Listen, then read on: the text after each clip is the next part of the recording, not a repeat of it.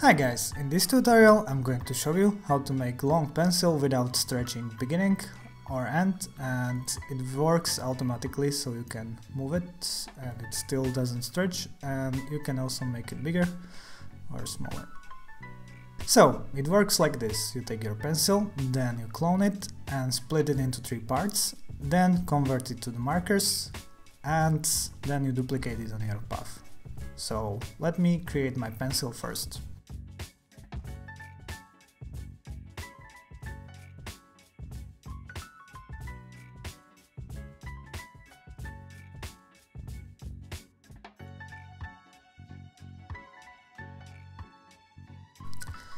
Okay, so now this is my pencil and I'm going to clone it first and move it down.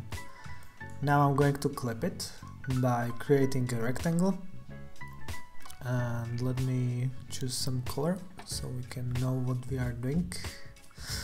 And clip just start of, of this. And select both of the objects and go right click and go to set clip. Now I'm going to copy and paste it. Then I'm going to switch the tool, enable these two options so I can see my rectangle and I'm going to move I'm going to move this, rectangle just so it's in the middle part and I'm going to do this again select the object Ctrl C Ctrl E and change the clipping to have just end of my object. So something like this. So now you can see that if I move it together it's going to be one pencil. Right. Now I'm going to clone it again and convert it to the markers. Select their object and go to object object to marker I'm cloning it this way so all of this is linked and if I change my mind later, so for example I want to change this color to be the same or any other change, for example changing shape of this, this is still linked together and it should be adjustable. Now I'm going to create my path which this pencil is going to be put on, so let's do that. Okay, I can turn off the fill color and also the stroke color. And now I'm going to put markers on my path. Fill and stroke, stroke style and first marker. And I'm going to put first object there. And at the end I'm going to put last object.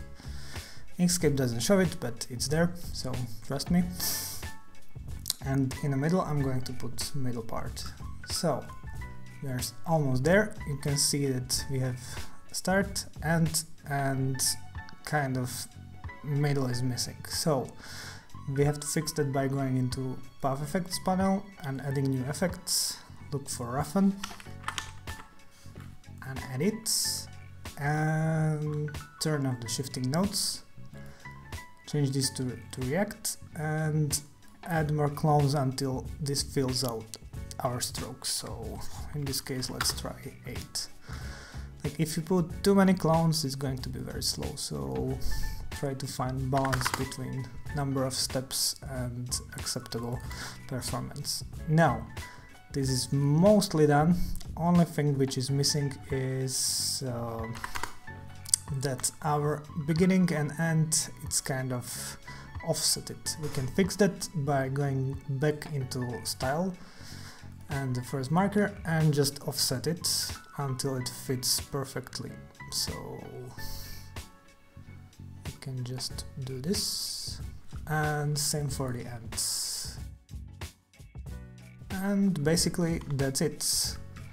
You can move it and it's still not stretching and you can change the stroke size and it's going to scale up and work perfectly. And cool thing about this is that we can still edit this, so if I change my mind and I want this to be shaded, so let's add color here and let's make this a little darker it's still connected and you can change it. We can even update the shape and it still works out perfectly.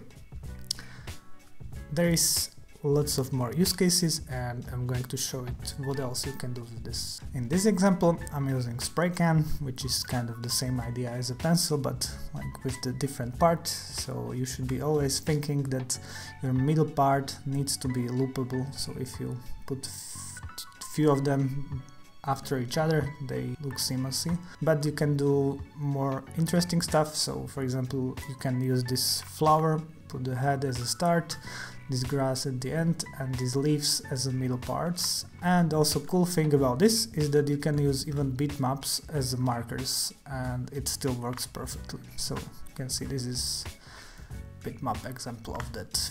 So I hope this was useful, have fun